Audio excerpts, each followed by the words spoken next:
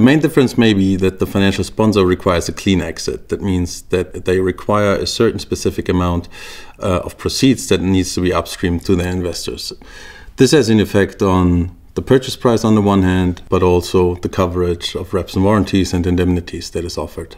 As regards the purchase price, this means that there is a preeminent use of the locked box mechanics and not closing date accounts. As regards the reps and warranties, a financial sponsor requires the acquirer to take out the W&I insurance for the operational warranties and also the tax indemnity in most cases.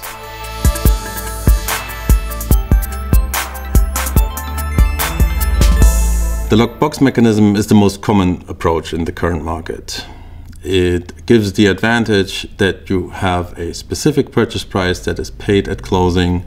You don't have any purchase price adjustment after closing. That means that the seller receives a specific amount at the time of close, which is already fixed at the time of signing. It also has the advantage that the management of the target is not held up in the preparation, review, and sometimes even dispute of the closing date accounts.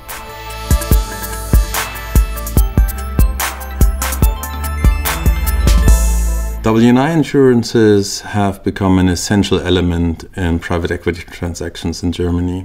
We've seen a lot of development in this market over the last years, and it would be fair to say that now more than maybe 50% of all transactions require W&I insurance on the side of the buyer. During the recent years, we've seen a lot of uh, competition in the W&I insurances market, and therefore also a lot of new policies that are offered. While at the beginning they only covered operational reps and warranties, we now see zero liability insurances being offered and also title insurances and also insurances for specific tax issues. And oftentimes they don't come along with an increase in premiums.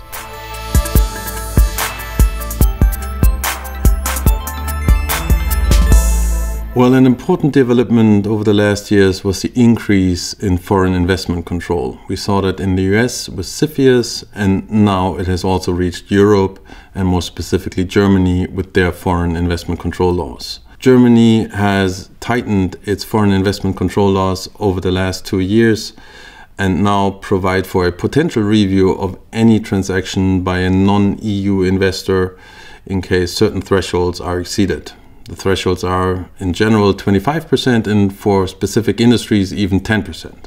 There are also current legislative initiatives on an EU level which may lead to even more complexity when it comes to investments from a non EU investor into European targets. As a result, the clearance under the German foreign investment control regime is now introduced as a closing condition in most of the SPAs. Overall, it's important to have an eye on the market and to be familiar with all the latest development, whether it comes to W&I insurances, purchase price mechanics, or foreign investment control laws. At Kirkland Ellis, we are familiar with all these issues since we constantly advise our clients on very complex transactions in Germany.